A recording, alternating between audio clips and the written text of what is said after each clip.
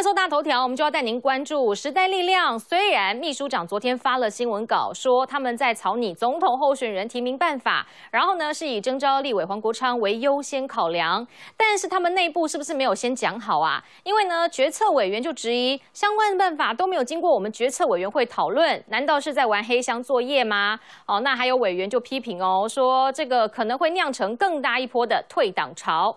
而现在到中国去玩，是不是变成了一种很恐怖的行为？因为根据海基会统计，二零一六年至今这三年来，已经有一百四十九件国人在中国失联的案件。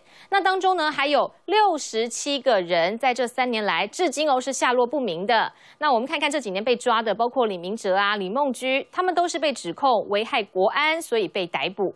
好，那德国则是有民众向国会请愿，希望德国可以跟台湾建立外交关系。那要怎么样才有可能获得国会的关注呢？好，就是要在十月十号之前获得全球五万人以上的联署，那德国国会就会公开讨论这一份请愿书。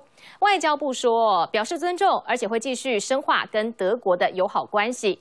但是说到我们的邦交，又有邦交国是要拉警报吗？土瓦鲁有台派的总理下台了，那邦交可能也会出现警讯。外交部说有掌握讯息，但是呢，目前新的总理跟我们的大使馆互动是密切的，而且邦交稳固，所以呢，他们会持续注意后续的发展。好，那郭台铭为什么会想要找柯文哲合作呢？呃，甚至还想要找他当副手。赵少康有说，那是因为柯文哲从来没有跟他要过一分一毛钱，即使到现在也没有。所以呢，这一点让郭台铭觉得柯文哲很难得，还不错。本日精选新闻要关注高雄市这几天发生了好多起的暴力冲突事件。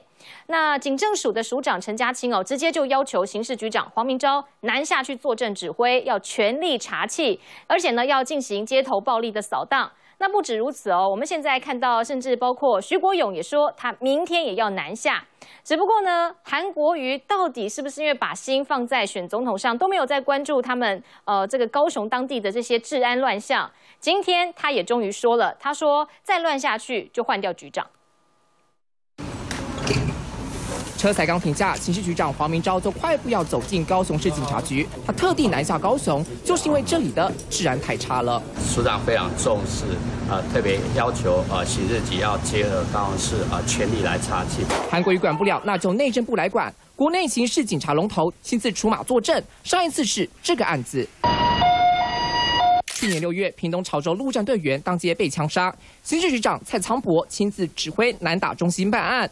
这一次小混混打架，韩国瑜好几天搞不定，干脆内政部。自己管。高雄的治安在这几个月确实啊有一些这个啊不断的有一些暴力的状况出现，那也啊明显的显示出这个高雄的治安啊需要做一些重新的整顿啊。内政部话说的很重，这架警政署皮绷紧，不但比照重大刑案每天开专会议，更升高层级。原本由派出所和分局处理，接下来可能由高雄市刑大和南部打击犯罪中心，因为再不处理好，连部长都可能要自己来。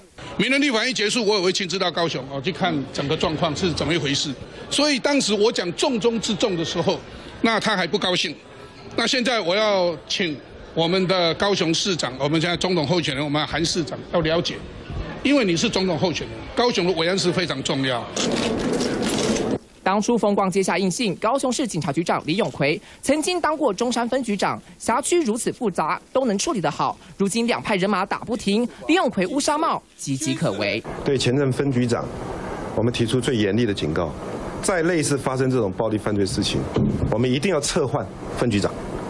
再下来，如果再不行，警察局局长本人就要负责了。